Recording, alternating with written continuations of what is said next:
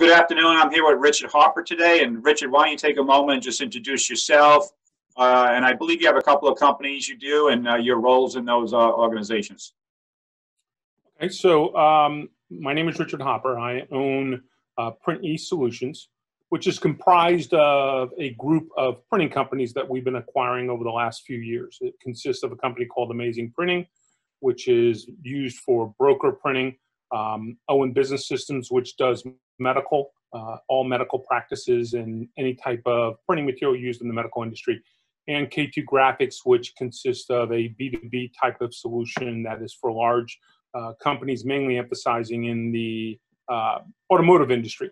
In addition to that, I'm also a partner in a company called uh, Ground Zero Bootcamp, which is designed around helping restaurants more recently reopen because they could not op- close or that excuse me they could not open in the same way that they closed but to help them to also find ways to move their business at a better direction than in the past in new marketing ways as well as new operational ways nice and who specifically do you serve in your two different organizations who's an ideal prospect and client for you richard so at Printy, we are a business. We are a uh, business to business type of printing solution. We are a one stop solution in that we are an asset based. All of the printing is done in house here at our facility. Uh, our facility services cruise industry. So Printing uh, Print Solutions is a business to business, mainly in the South Florida market. K2 Graphics covers the entire U.S., mainly in the automotive industry as well as the travel industry. Amazing Printing was providing solutions to brokers who are trying to sell the print solution but need an asset based company like ourselves to do that printing. And then Owen provides a complete office product solution to the medical industry. Uh, they have been mainly emphasizing prescription pads, file forms, letters, things that are needed in a small uh, medical practice that is a day-to-day operations that's non-automated. Excellent. And uh, through this unfortunate cycle we've been through the last few months, Richard, what was your biggest challenge, and how have you been able to migrate through with you and your teams? You know, I, I, think our biggest challenge was managing our business while the virus was going on. Um, we were an essential business, so we were servicing the medical industry, but despite servicing the medical industry, that industry overall had reduced dramatically. A lot of businesses, a lot of medical offices had closed up if they weren't an essential type of medical business. And as a result of that, there were still a few that were open. So we had to maintain a service level to them. And the difficulty we ran into was managing our staffing at the same time trying to increase revenues, which were not going to happen because so many businesses had closed. But we're also at the same time trying to prepare ourselves for when the reopen occurred. We went and looked at some automation processes. We changed the way some of our auditing, or excuse me, some of our orders were made for customers on an online platform. And we also looked at the way in which we we're going to market and sell because we could no longer be in a face to face environment. Fortunately, because we provide a mailing solution as part of our print solution, we were able to go ahead and do a lot of direct mails at this point in time. And there's a program called an EDDM, which is an every door direct mail. And that helped us to go ahead and reach markets that we've in the past were not pushing for. Um, so it was managing that entire marketing aspect while trying to maintain some form of an operations as well as trying to make sure that we were maintaining some level of uh, financial help to our employees. Excellent. And with that in mind, is there any particular core values you uh, attach to your organization and how you serve your community? You know, so uh, I participate in a lot of nonprofit out in the community areas. And during this time period, our nonprofits were affected dramatically, both from a financial standpoint as well as an operations standpoint. And being able to reach out to them and reach out to the community and try to help them through this process was a real difficult task. Um, the community in general was very responsive to the organization that I chair called Flight, which helps kids that are in the in the foster care system that are coming out of foster care and moving into independent living. And our organization was restricted, much like all of other Broward County school systems and other entities like that. And we could not at least provide the services to the kids on a face-to-face basis. So much like my business, and we couldn't provide services to our customers, but we needed to be open, the same thing was occurring. We still need to maintain our full staff at the nonprofit world, but we were restricted in being able to meet with those kids on a face to face basis and helping them through this process. Excellent. And in addition to that, Richard, what one or two actions have you taken to make the difference in your business and for the community? You, you just You know- touched on a few of them. Yeah, it's interesting. You know, I've been a serial entrepreneur for a number of years. I started when I was in my uh, way early 30s. I was in corporate America and decided that I, I somewhat didn't play well with others and I needed to, to move on to my own uh, opportunities. So um, I had recognized that the way uh, businesses ran over the past and what I had learned was not going to be applicable in the way in which we were going to reopen after the pandemic. So during the pandemic, I participated in an online educational course that you held, Michael. It was really insightful to me. And I think one of the great things that I took away from that in the book that we read, which was called Think and Grow Rich, uh, we learned that during the last major economic crisis that occurred, a lot of entrepreneurs during that time period had prospered.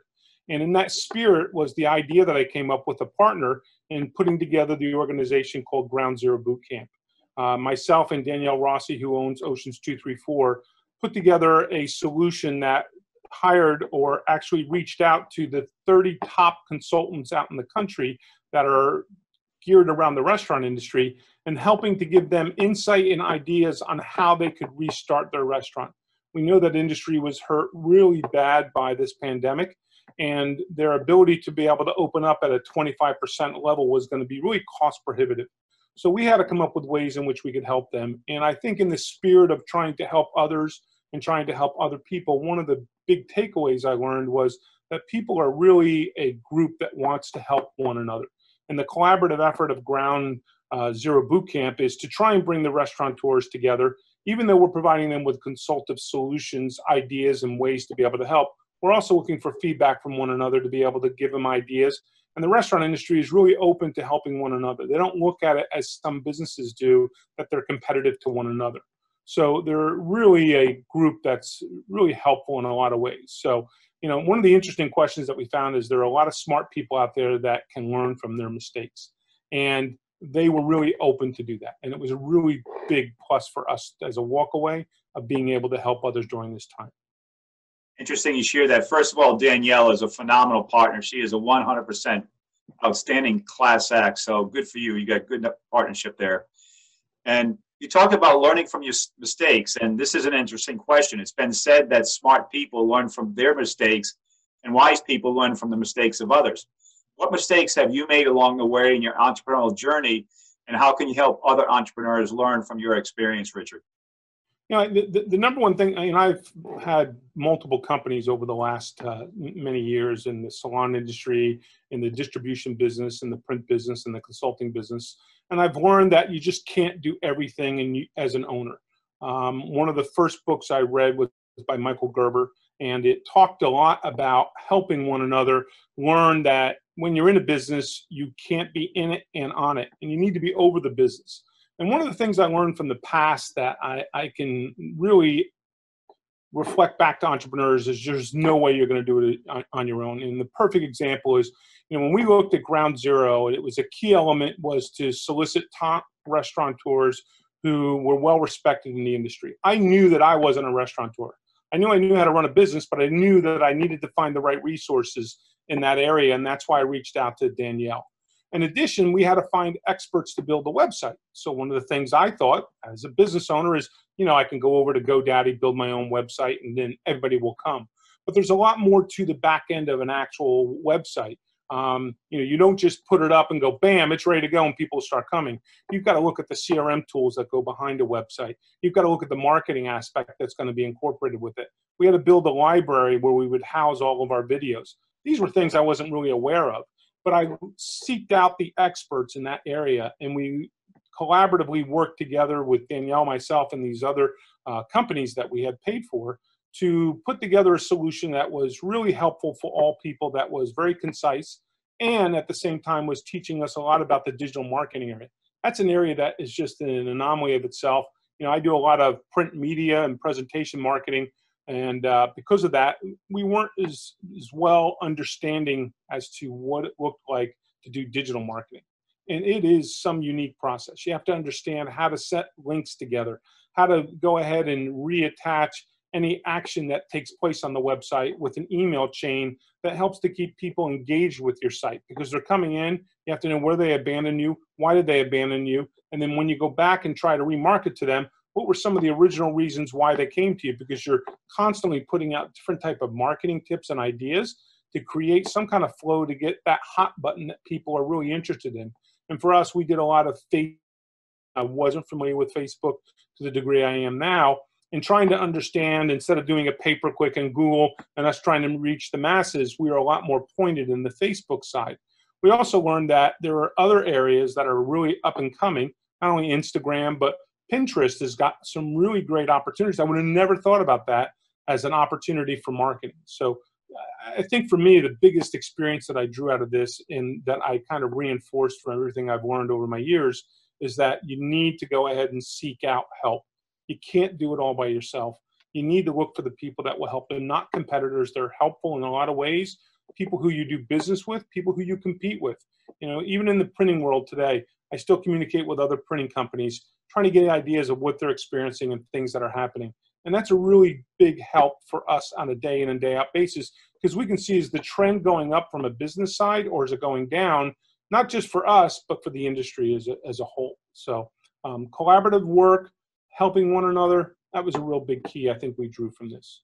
Excellent. Yeah, so many people that are very extremely successful, they want to pay it forward because they were right where we were at one day and where we were at 10 years ago. We all started from scratch and people help them along the way and they're happy to help us along the way. And correct me if I'm wrong, that book you were speaking about, was that the E-Myth Revisited by Michael Gerber? Yes, it was. Yes, it was. Yes. Excellent book. Every time I give that to a new business owner, they read it, and you probably most likely said the same thing. Oh my God, I felt like that book was written specifically for me. Yes. It also helps to tell you, you know, it, it, the, the ironic part is it tells you when you shouldn't be an entrepreneur if if you're looking for that job and that career and you're feeling that what you became as an entrepreneur became a job, maybe that's not the right thing for you. And it's okay. Not everybody needs to be or wants to be an entrepreneur.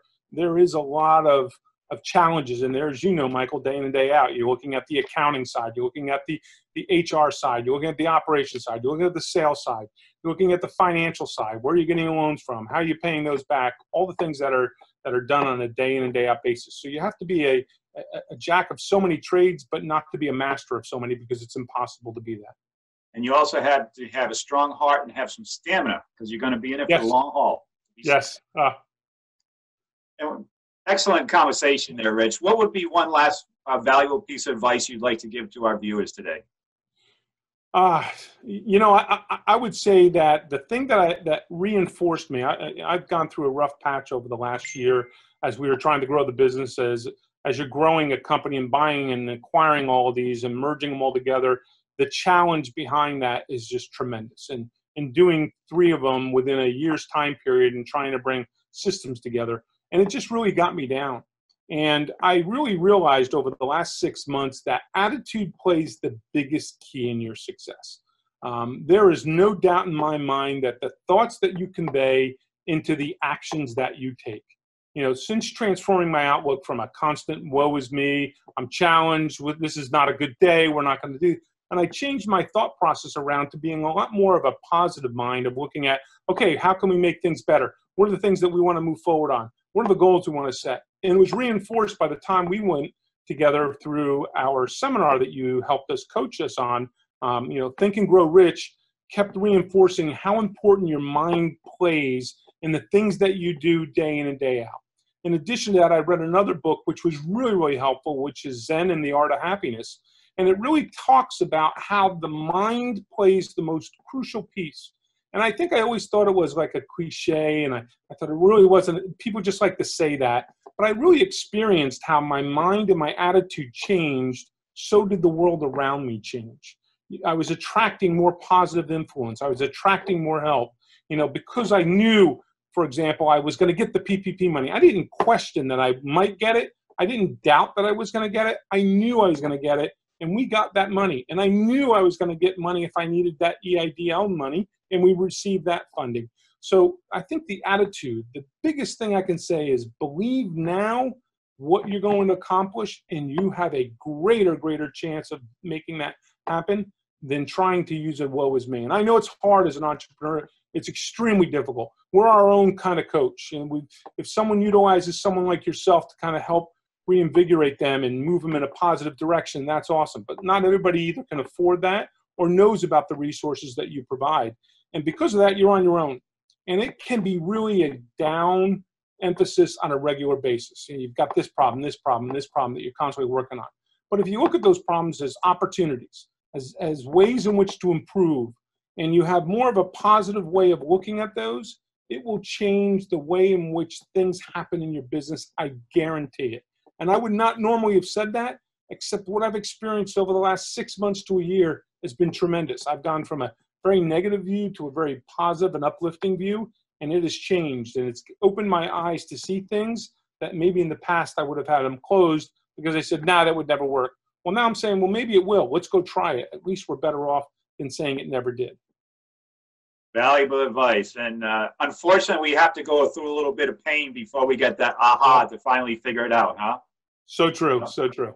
This behind me attitude action results came back in 2000 when I got a good look at a little kick in with the dot com bubble as a financial advisor.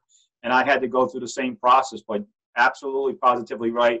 And A is the first letter of the alphabet for a reason. It starts yeah, great point. Yeah, great point. So, great point. Well, uh, great chat today, Rich. I wish you success with your ground zero. You got a great partner. You're making a big, big impact in the community. We need more people like you out there. And uh, I want to thank you for the time today. Thank you, Michael. I appreciate it.